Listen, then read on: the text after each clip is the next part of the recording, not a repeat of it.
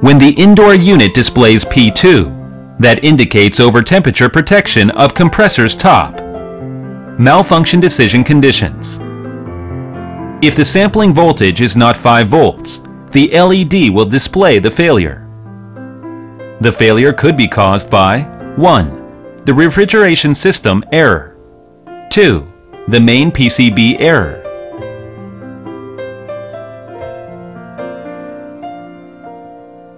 Check if the ventilation of the indoor unit and the outdoor unit is obstructed.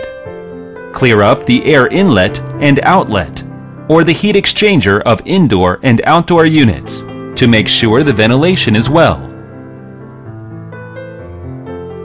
If the error still exists, shut the power off and turn it on 10 minutes later.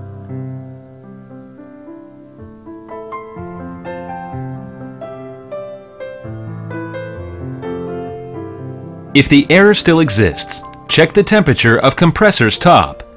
If the temperature of the compressor's top is higher than 100 degrees Celsius, it could be the refrigeration error. If there is refrigerant oil on the joint, apply soapy water or leak detector to check if there is any leakage of the system.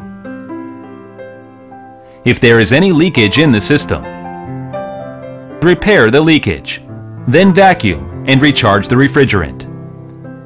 If the refrigeration system is blocked, replace the high pressure valve. If the temperature of compressor's top is lower than 100 degrees Celsius, check if the wiring of the overload protector is well connected.